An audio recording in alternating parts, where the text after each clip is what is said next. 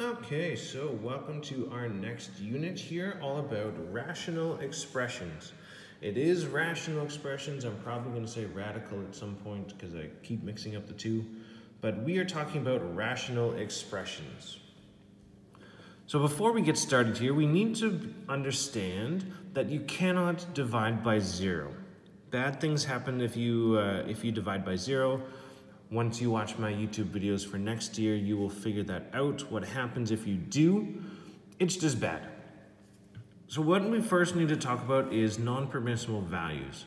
Now, non-permissible value is a value that x or y or z or whatever variables you're dealing with, it cannot equal that. So for instance, here, x cannot equal zero. I cannot have this denominator equal zero. This next one, I cannot have the denominator zero, so 2y cannot equal zero. 2 is never going to equal zero. So y cannot equal zero. And I can do that for whatever one I'm dealing with. So let's say this one, I would say that 2y plus 5 cannot equal 0. That denominator cannot equal 0. And then solve for what y is. So subtract 5 onto both sides, divide by 2. So y cannot equal negative 5 over 2. These are your restrictions or non-permissible values.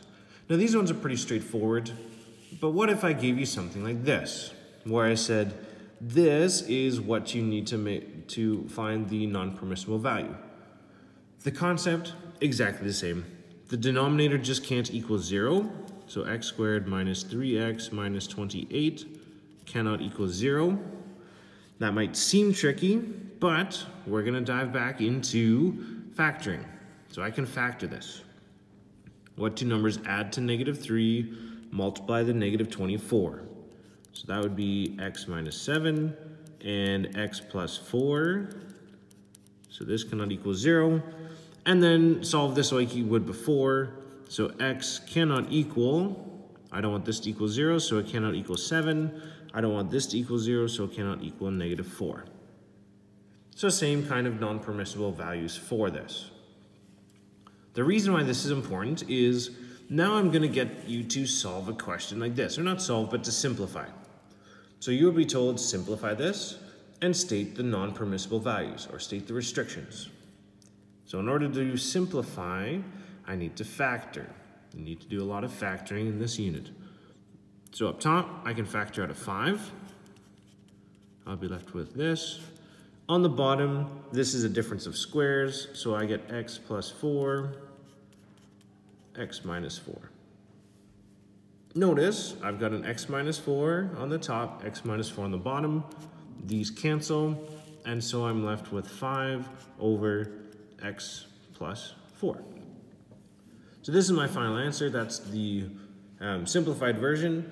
I also need to talk about restrictions. So in this case, x cannot equal, and I'm going to look at where I've factored everything. So I still need to talk about the x minus 4, even though I factored it out. So in this, x cannot equal negative 4, and it cannot equal positive 4. So that's the idea with restrictions and simplifying. You're going to need to factor things out, factor everything, and take out what is common between them, and then state any restrictions. So let's move on to the next page here. Now we're going to multiply some rational expressions.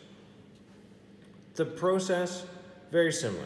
Uh, actually, I'm going to do B because it's slightly more complicated.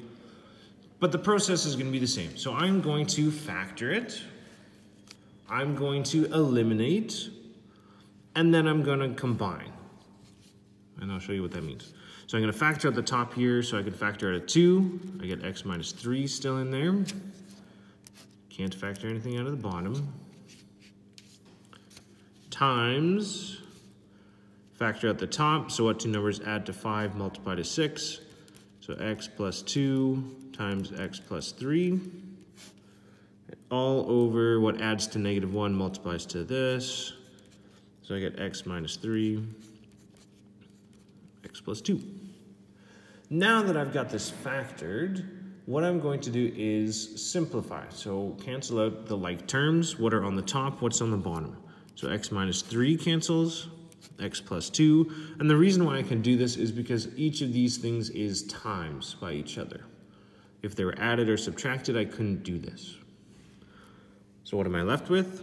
2 x plus 3 over x squared. You don't need to combine these because often at the end you can, uh, you can uh, simplify stuff out. I need to figure out what is my non-permissibles. So look where it is fully factored. So here I have x squared, so x cannot equal 0 because x squared can't equal 0 x minus 3, I don't want that to be equal to 0, so x cannot equal 3. And this one, x cannot equal negative 2. So there you go. That is your, um, that is how you would do this one. Again, the steps for this, factor everything out, because you're multiplying these together, factor everything out, cancel what you can cancel, and then simplify. And that's how you go about doing this. That's multiplying rational expressions. If I want to divide, I'm going to do the, a similar process. There's just going to be one step at the beginning. Let's do, uh, let's do letter C. I'm just jumping all over the place with these. So if I'm going to do this, first, because I'm dividing the second fraction, let's flip this. So I know what I'm dealing with. So I got 15 minus 3x over 2x times 4x plus 4 over 3x minus 15. Okay, now let's factor. So I can factor a 3 out of this, and I get 5 minus x over 2x. I can factor out a 4, so I have x plus 1, and I can factor out a 3 down here, and I get x minus 5. Great, so let's simplify some things out. I can cancel out 3 and 3, because again, top and the bottom, they're times everything. 4 divided by 2, so this I can make that a 2 and cancel that out. And notice here I've got 5 minus x, and I've got x minus 5. These are actually the same thing if I factor out a negative of this. And this is simply using the fact that um, uh, how do I do this? 5 minus x is the same thing as negative x minus 5. If you don't believe me, try multiplying the negative into here and you'll get the same thing. So if I cancel these two things out, I'm going to be left with a negative 1 here. Again, that just comes from the negative here. So looking at my final answer, I've got uh, negative 2 x plus 1 all over x. So this is going to be my final answer. Again, we need to look at restrictions for this. The restrictions are going to be a little bit different with this. So I need to look at, at any point in this, my denominator cannot equal 0. So if I looked at the factored one here, here, x cannot equal 0 because of the x. Here, x cannot equal 5. But notice, originally, I've got 4x plus 4 in the denominator. I flipped it up top, but from the very beginning, this was also a part of the denominator. So I also cannot have this, 4 times x plus 1. This also is a. Um, I need to make sure that this cannot equal 0. So x cannot can also uh, cannot be negative 1. Again, anything that's in the denominator at any point cannot equal 0. So that's the restriction with that. Uh, where am I for time? Nine and a half minutes. So I'm, let's do one that is a little bit more difficult. Let's do this one here. So if I've got this question, might look freaky at first. It's not too bad. So let's first flip the fraction, the second fraction.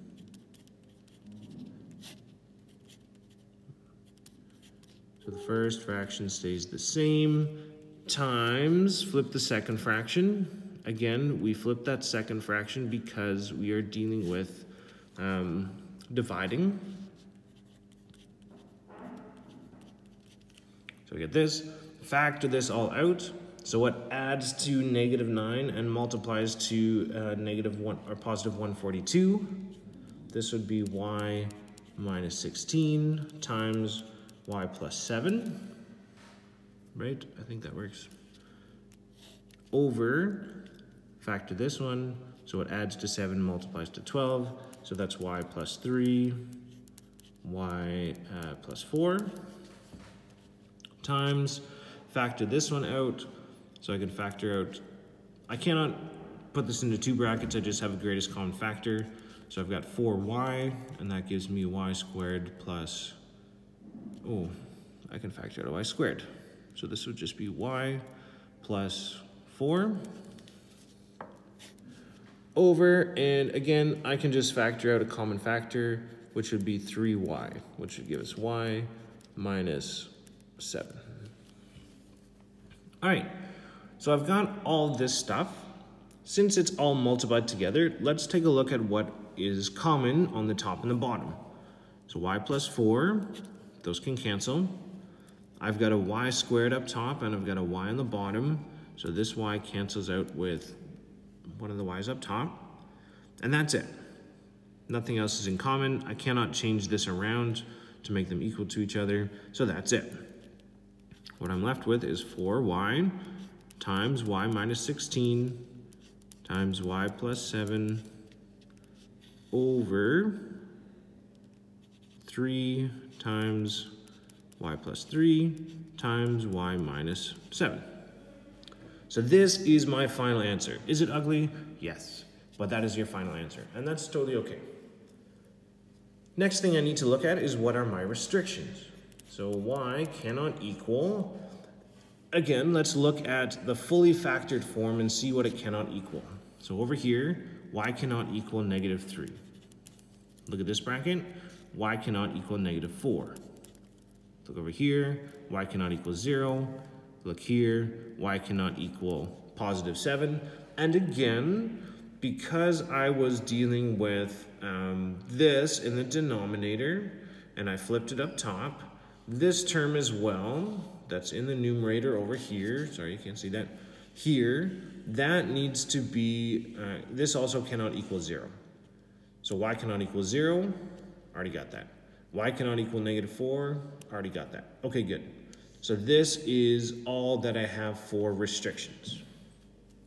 Okay, so that's it for the chapter one notes for this. Again, the process for this is not too bad.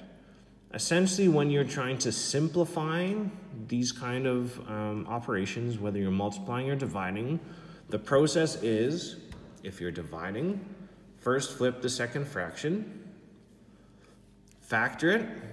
So you're gonna need to review how to factor if you need to go back and watch the factoring videos from the first unit, go back and do that. Cancel out what's in common between them, and then write down what's left. And finally, write restrictions. So that's the process that you're going to use with multiplying and dividing rational expressions.